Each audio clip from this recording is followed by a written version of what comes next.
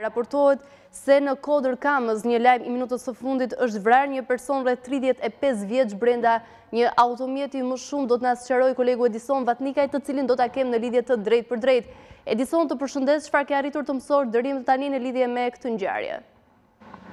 Të përshëndes edhe nga Mila, në fakt në orën nëntëmbëdhjetë e pesëdhjetë e gjashtë minuta është marrë një njoftim në sallën operative ku një person është gjetur i pa jetë brenda një mjeti me targat e huaja, bëhet fjalë për shtetasin me inicialet SK rreth tridhjetë e pesë vjeç. Sigurisht tashmë gjithë policia është e angazhuar për të bërë verifikimet e mundshme, në fakt ajo se çfarë kanë arritur edhe grupi hetimor për të konstatuar në vendin e ngjarjes është pikërisht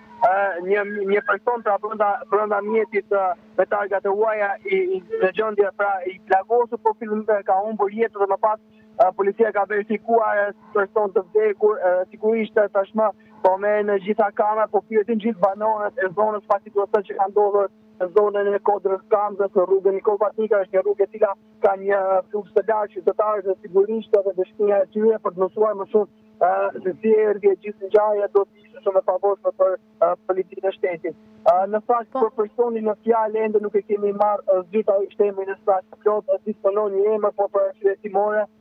nuk mund ta bëjmë publike në lidhje edhe me personin në fjalë, sigurisht që policia ka nisur menjëherë veprimet,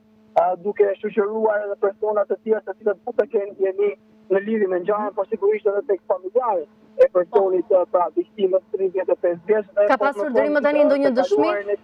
Nga ana tjetër janë ngritur pika kontrolli në fakt në hyrje dhe dalje të, të, të kryeqytetit, duhet thënë që zona ku është regjistruar pra edhe gjithë ngjarja ka një dalje më pas nga zona e Rinasit për të vazhduar Pas edhe në zonën e Krujës, por edhe Lezhë, Shkodër, sigurisht janë ngritur pika kontrolli ku po verifikohet çdo makinë, por edhe çdo person me informacion dhe sigurisht po bëhet edhe shoqërimi i tyre. Këto janë të dhënat e para, janë të dhënat paraprake të cilat na vijnë edhe nga ana e grupit hetimor, pasi në fakt ngjarja sapo uh, është marrë, pra është marrë zyrtarisht uh, në dorë të policisë dhe po kryen veprimet e para.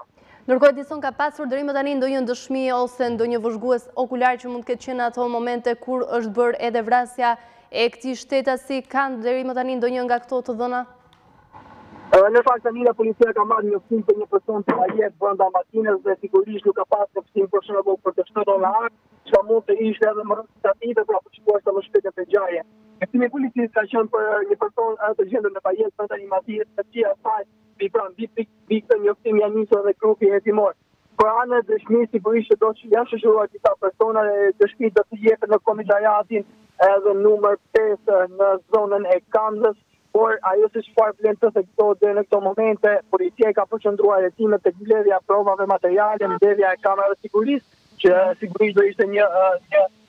Ndoshta një pres që të përdorëse për policinë, për dokumentuar të gjithë ngjarjen. Mirë, Edison, unë të falenderoj për këto informacione paraprake që ti na solle lidhur me këtë ngjarje të fundit, ne do të jemi në komunikim sërish për të gjitha të reja dhe zhvillime që do të ketë. Falenderoj.